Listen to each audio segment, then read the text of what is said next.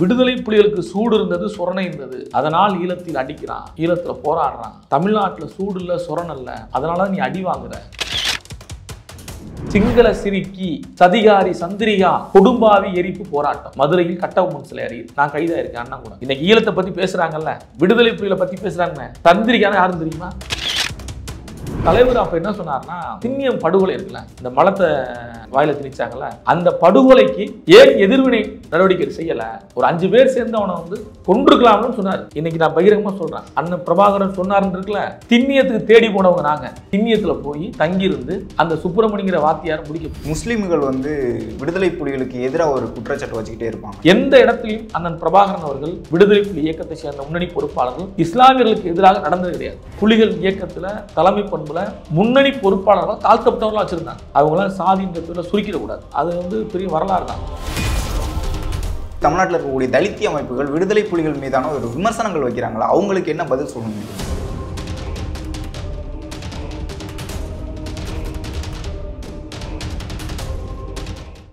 வணக்கம் அண்ணா. வணக்கம்.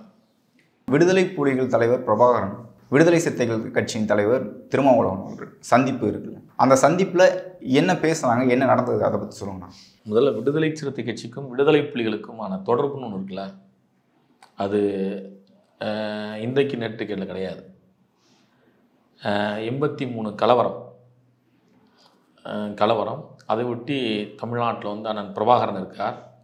அந்த நேரத்தில் வந்து அண்ணன் பிரபாகரன் அவர்கள் எண்பத்தஞ்சு காலகட்டம் நினைக்கிறேன் எண்பத்தஞ்சு எண்பத்தாறு நினைக்கிறேன்.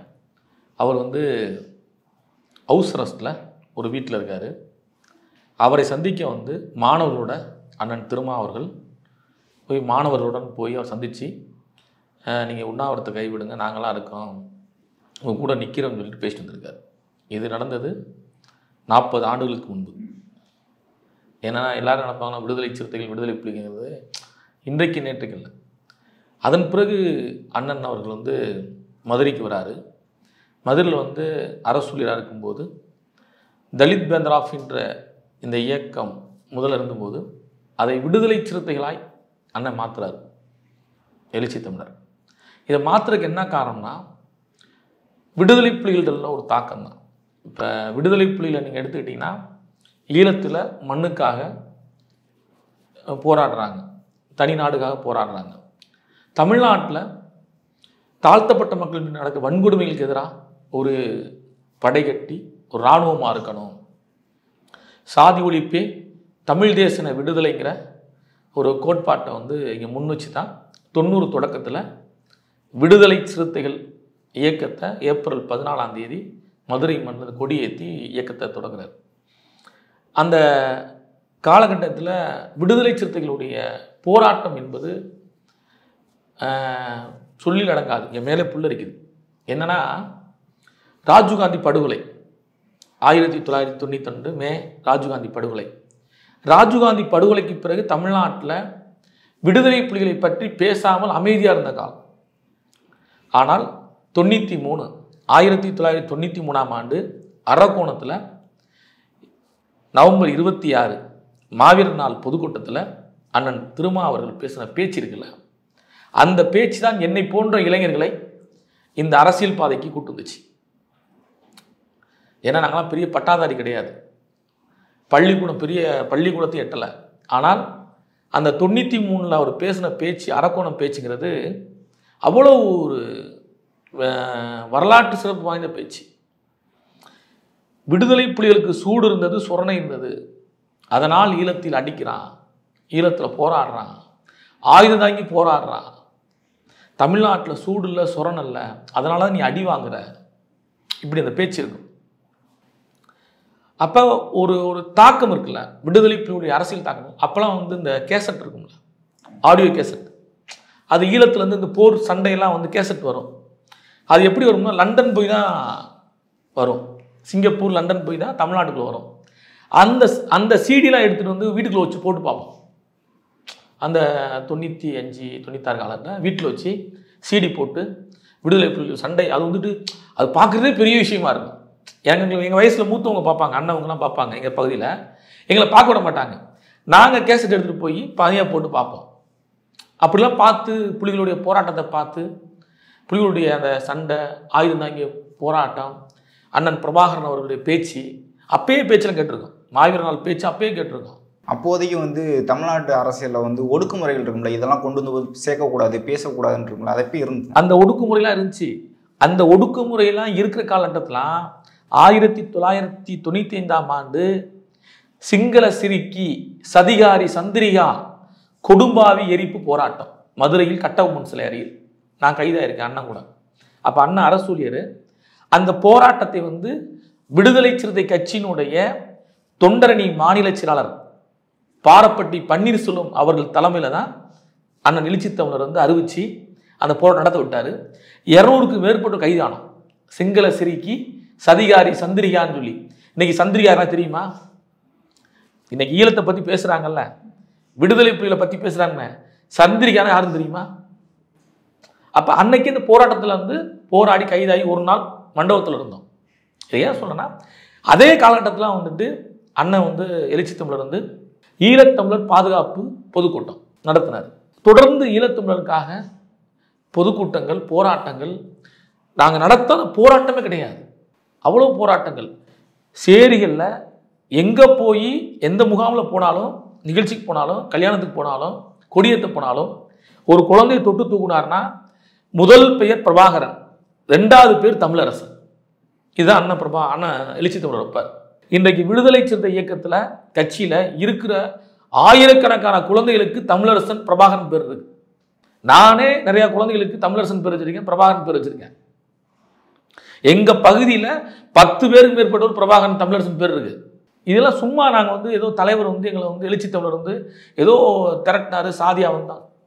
அரசியலாய் புலிகள் என்ன செய்கிறாங்க விடுதலை புலிகள் என்ன நோக்கத்துக்கு வந்தாங்க? அந்த தாக்கம் நமக்கு இருக்கணும். ஒவ்வொரு இளைஞன்ட்டு இருக்கணும் தான் போராடணும்.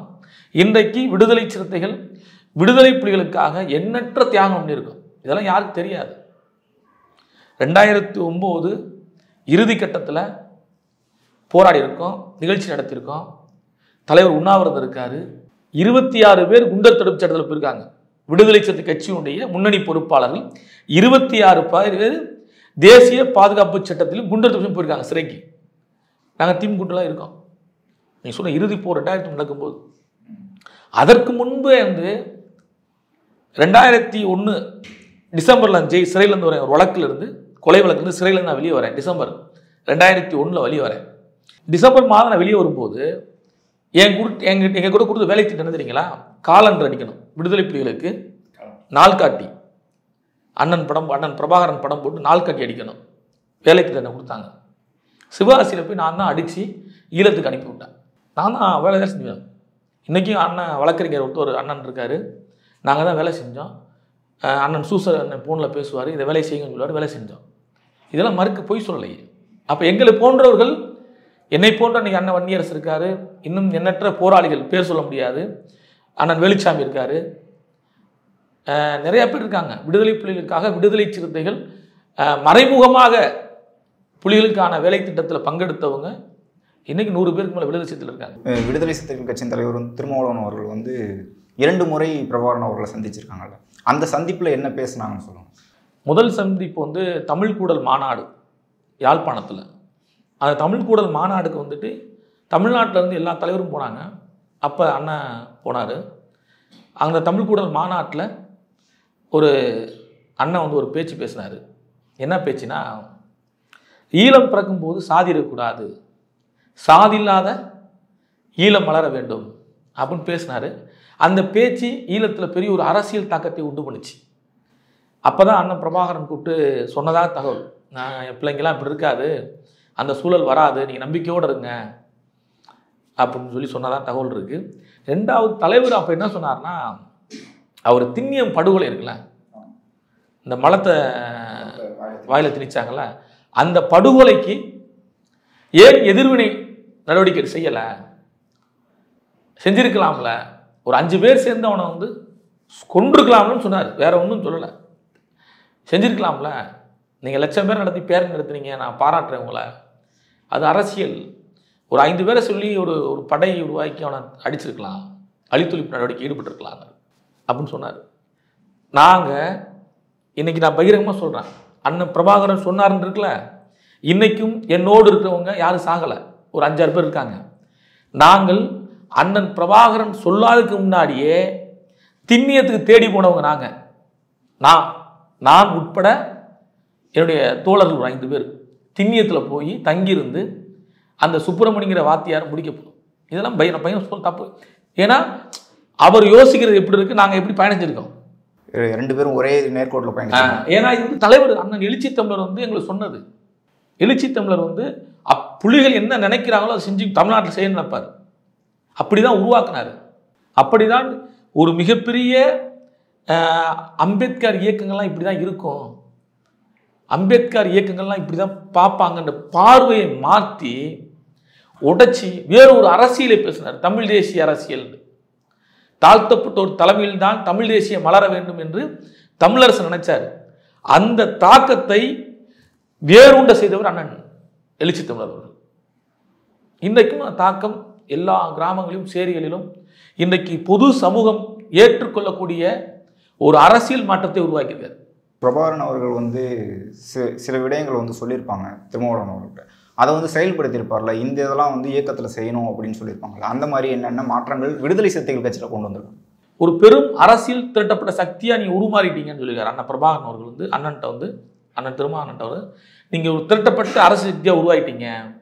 அது வந்து சக்சஸ் ஏன்னா வந்து இந்த சமூகம் இந்த மக்கள் திரட்டப்படாத சக்தியாக இருந்தவங்க.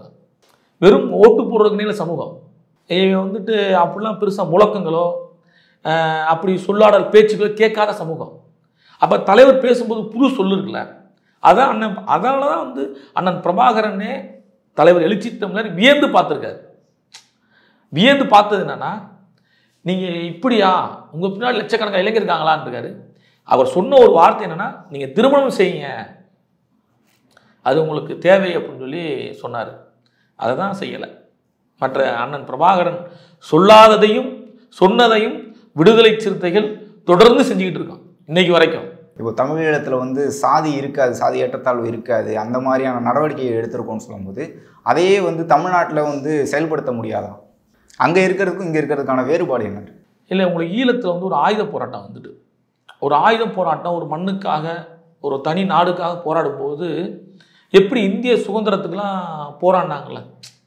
இந்திய சுதந்திரத்துக்கு போராடும்போது சாதி பார்க்கலன்றதுலாம் இருக்குல்ல? அந்த மாதிரி தான் ஈழத்தில். ஒரு ஒரு குறிக்கோள் ஒரு நோக்கம் என்னென்னா சிங்கள அரசிட்ட இருந்து தனிநாடு அமைக்கணும். சிங்கள பேரினவாதத்திலிருந்து நம்ம வந்து தனி ஈழம் அமைக்கணும். இந்த நோக்கம் தான் ஒழிய அங்கே சாதிய சிக்கல்லாம் கலைஞ்சிடலாம் ஈஸியாக ஏன்னா பொது எதிரி வீழ்த்தணும்ல. ஒரு பொது எதிரியை வீழ்த்தணும்னா நாம் இங்கே ஐக்கியப்பட தேவை இருக்குது அப்படிதான். அதனால தான் வந்து புலிகள் இயக்கத்தில் தலைமை பண்பில் முன்னணி பொறுப்பாளர்களாக தாழ்த்தப்பட்டவர்களாக வச்சுருந்தாங்க. நான் பேர் சொல்ல விரும்பல. ஏன்னா அவங்களாம் மிகப்பெரிய போராளிகள். ஈழ விடுதலைக்காக பெரிய அர்ப்பணிப்பு பண்ணியிருக்காங்க. அவங்களாம் சாதின்ற பேரில் சுருக்கிடக்கூடாது. அப்படி பெரிய தலைமையில் தலைமை பண்பில் தலைமையில் இருந்து போரா போரில் இருந்து முன்னணியில் இருந்திருக்காங்க. அது வந்து பெரிய வரலாறு தான். விடுதலை சிறுத்தைகளுக்கும் விடுதலை புலிகளுக்குமான ஒரு தொடர்பு இவ்வளவு இவ்வளவு நீண்ட காலமாக போயிட்டு இருக்கும்போது இங்கே இருக்கக்கூடிய தமிழ்நாட்டில் இருக்கக்கூடிய தலித்திய அமைப்புகள் விடுதலை புலிகள் மீதான ஒரு விமர்சனங்கள் வைக்கிறாங்களா? அவங்களுக்கு என்ன பதில் சொல்லணும்னு நினைக்கிறீங்க சார்? ஒரு செய்தியாக சொல்கிறேன் அண்ணன் அண்ணன் திருமா அவர்கள் வந்து பேருந்தில் போயிட்டு இருந்திருக்காரு பேருந்தில் போகும்போது பயணம் செய்- சென்னைக்கு பயணம் செய்யும்போது அவர் கூட ஒரு அம்பேத்கர் இயக்க வந்திருக்காரு.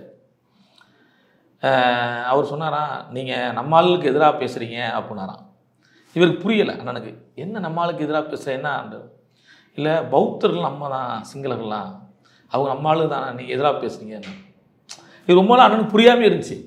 இன்றைக்கு வரைக்கும் விடுதலை சிறுத்தைகள் சிங்கள பௌத்த பேரினவாதம் சொல்லுவோம்.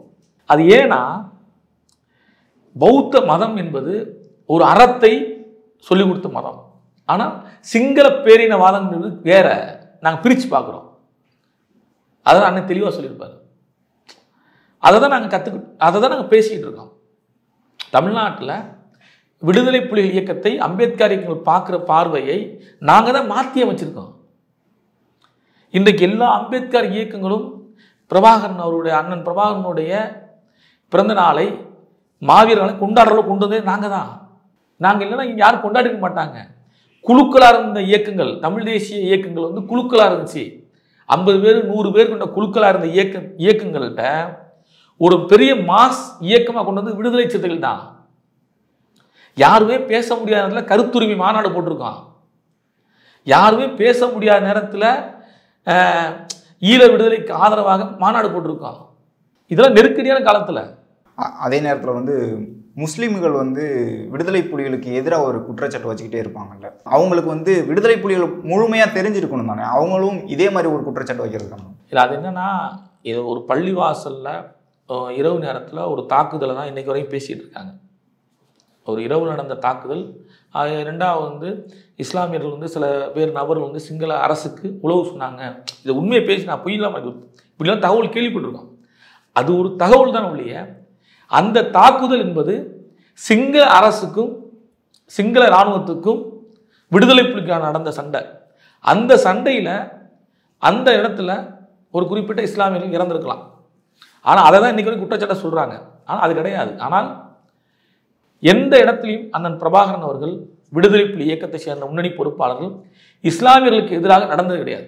அப்படி பார்த்தீங்கன்னா நீ தமிழ்நாட்டில் தூத்துக்குடி ராமேஸ்வரம் நாகப்பட்டினம் இந்த கடற்கரையெல்லாம் வந்து பெரும்பான்மை இஸ்லாமியர்கள் கையில் இருக்கும். இந்த போட்டு கிட்டு இந்த படகெல்லாம் வந்து அவங்க வச்சுருப்பாங்க. அப்படி வச்சுருந்தாங்கன்னா எப்படி புலிகளுக்கு ஆதரவு வேலை பார்த்துருப்பாங்க?